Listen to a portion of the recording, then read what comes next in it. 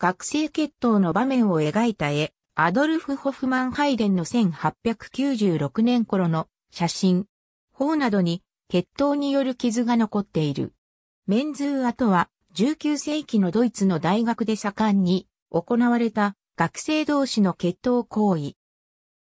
学生決闘とも、オーストリアやスイスにも行われた記録がある。一般に表記上は決闘とは区別する。決闘の方法は、二人の参加者が剣を持ち合い、フェンシングのようなスタイルで戦うというものである。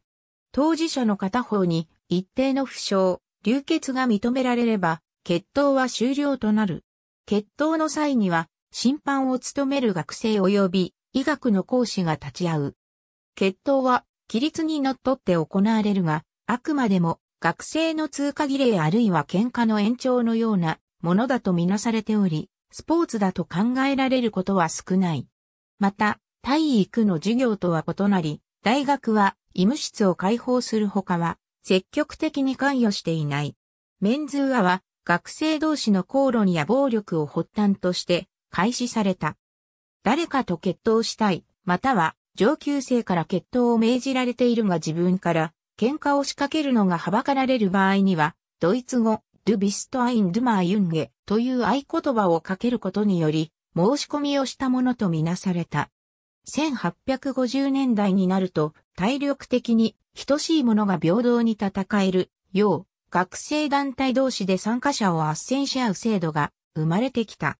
また、大学によっては、あらかじめ複数の学生団体の幹部が協議を重ね、面識も反目の経験もない互いの構成員同士を決闘させる一種の腕試しのようなことも行われた。一人の学生が在学中にメンズーアを経験する回数は少ないものでは0回、多いものでは30回から50回ほどである。フリッツ・バクマイスターなる人物は在学中に100回もの学生決闘を成し遂げたことで歴史に名を残している。メンズーアに参加するか否かは当事者の意思に委ねられたが、共有会やサークルの上級生によって無理やり参加させられる例もあったという。特に共有会は新入生に対して最低でも1回はメンズーアを経験する義務を課しているところが多かった。カトリックの学生団や文芸サークルなど、血統とは縁の薄い団体はしばしば価値の劣る存在だとみなされた。学生時代に幾度もメンズーアを経験した者は軍隊において優遇され、早期に昇進することができた。中世や近世のヨーロッパでは名誉のための決闘が盛んに行われたが、大学もその例外ではなかった。レーピアによる決闘方式はスペインから移入されたものであり、当初は校内や学外において学生同士の喧嘩がエスカレートして決闘となり、しばしば重傷者や死亡者を出した。ヨーロッパの多くの地域で基人に縦脇の習慣があったことも、血統の流行と関係している。17世紀になると、これまで無秩序に行われていた血統のあり方を見直し、秩序立った規律のもとで戦おうという風潮が生まれてきた。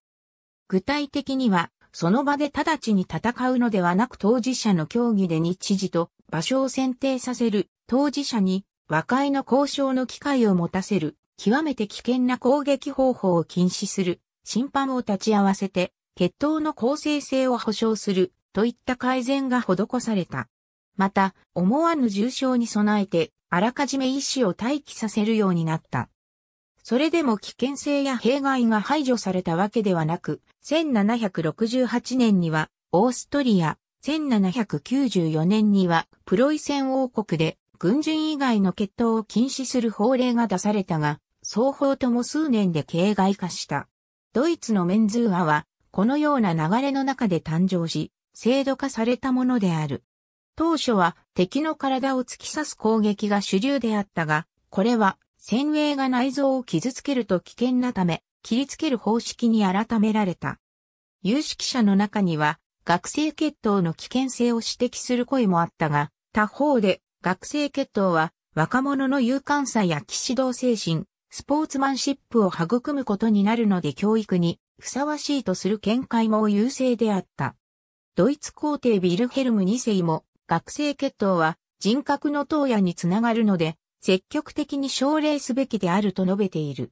1871年になると、かつてのプロイセン王国のように、国民の乱りな血統を処罰する規定が、刑法典に新設された。しかし、メンズーアについては、死刑を目的とするものではなく、青少年の教育に役立ち、厳密なルールと審判によって安全性が保障されていることを理由に、なおも容認され続けた。ドイツ第三帝国の時代になると、学生血統はナチスにより野蛮なものとみなされ、他の血統と同じように法律で禁じられた。